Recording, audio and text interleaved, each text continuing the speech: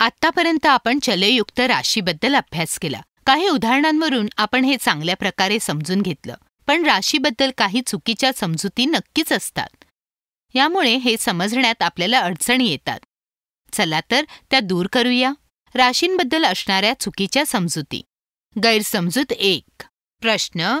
मनुचे वय एक्स वर्ष आहे. हर्षपेक्षा मनू दोन वर्षांनी लहान आहे. हर्षच्या वयासाठी काय राशी असेल? एक्स वजा दोन की एक्स अधिक दोन.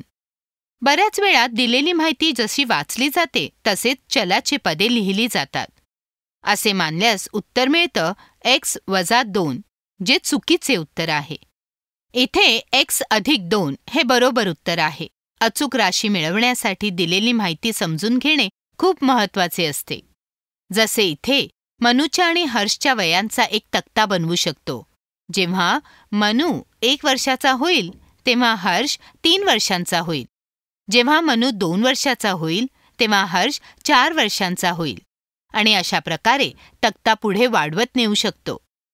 संख्यामधील संबंध बघून हे सांगू शकतो की हर्षचे वय मनूच्या वयापेक्षा दोनाने अधिक आहे. हे समजल्यानंतर विचारलेल्या प्रश्नाचे अचूक उत्तर असेल एक्स अधिक दोन. गैरसमजूत दुसरी. प्रश्न. चल एक्सची किंमत तीन असल्यास पाच एक्सची किंमत शोधा.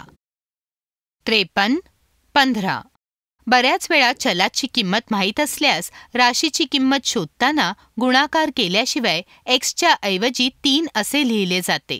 अशा समजुतीमुळे त्रेपन्न हे चुकीचे उत्तर मिळते.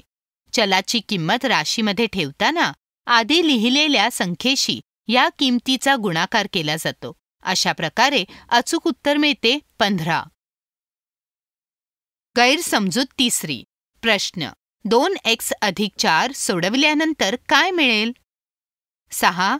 सहा एक्स याची किंमत शोधू शकत नाही. चलांचा अर्थ नीट न समजल्या कारणाने चलासाठी वापरलेल्या अक्षराकडे दुर्लक्ष केले जाते. आणि दिलेल्या राशीची किंमत सहा किंवा सहा एक्स अशी मिळते. हा चुकीचा समज आहे. दोन एक्स अधिक चार या चलयुक्त राशीची किंमत काढू शकत नाही. जर चलाची काही निश्चित किंमत दिलेली असेल तरच या राशींची किंमत काढता येते. गैरसमजूत चौथी प्रश्न. खालीलपैकी कोणती राशी समान नाहीये? सर्व राशींमध्ये गुणाकाराचे चिन्ह वापरले आहे. पाच एम छेद दोन व्यतिरिक्त. या समजामुळे अधिकतर पाच एम छेद दोन उत्तर दिले जाते जो चुकीचा समज आहे.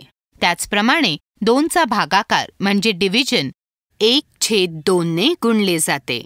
हे माहीत नसल्याने पर्याय दोन हे उत्तर दिले जाते. हा सुद्धा चुकीचा समज आहे.